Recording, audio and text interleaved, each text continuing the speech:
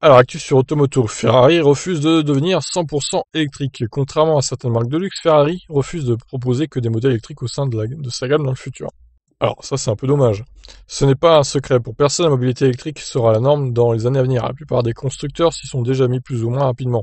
Qu'ils aient choisi de le faire ou qu'ils aient été contraints par les normes et autres amendes qui vont pleuvoir dès l'an prochain. Aujourd'hui, beaucoup de marques ont décidé de proposer au moins un véhicule électrifié de l'ensemble de leur modèle, tandis que certains veulent aller encore plus loin en bannissant totalement les moteurs thermiques.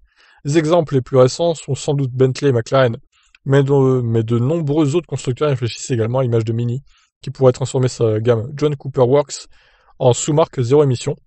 Mais certains font encore de la résistance à l'image de Ferrari, qui ne souhaite absolument pas se transformer en une marque 100% électrique dans le futur. C'est en tout cas ce qu'a affirmé le PDG de la firme de Maranello, Louis Camilleri, lors de la présentation des résultats trimestriels. Au cours de la traditionnelle séance de questions-réponses, le dirigeant italien tenu a affirmé haut et fort ses ambitions pour la marque en ce qui concerne l'électrification. Et cela ne laisse aucune place au doute. Je ne vois vraiment pas Ferrari devenir un jour électrique à 100%. Cela n'atteindra certainement pas 50% de mon vivant. Ah ouais, alors lui, il est clairement anti-électrique. Hein. Voilà ce qui a le mérite d'être clair. Bien sûr, le constructeur ne tourne pas le dos à une toute forme d'électrification pour autant, alors qu'il travaille depuis de nombreuses années déjà au développement de modèles hybrides avec la Ferrari et la plus récente SF90 Stradale, forte de 1000 chevaux. Si proposer une gamme 100% électrique ne fait donc pas partie des plans de la marque italienne, il se pourrait néanmoins qu'un modèle zéro émission fasse son apparition dans la gamme, mais pas avant 2023, au mieux. Louis Camilleri rappelle en effet que créer un modèle faisant uniquement appel à la fée électrique est extrêmement complexe. Selon lui, le jour où nous arriverons au salon de Genève, c'est pub, c'est chiant, avec une voiture électrique, ce sera une machine plutôt complexe. Autant dire que ce n'est pas demain la veille que nous verrons une supercar électrique venue de Maranello sur nos routes, alors que la priorité reste pour l'instant l'hybride.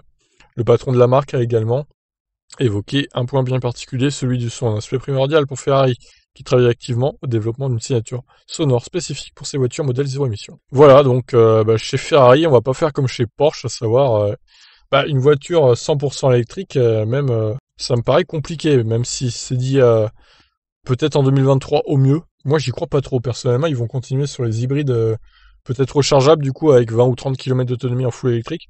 Mais vraiment, ils vont se concentrer vraiment sur le thermique, hein, Ferrari encore.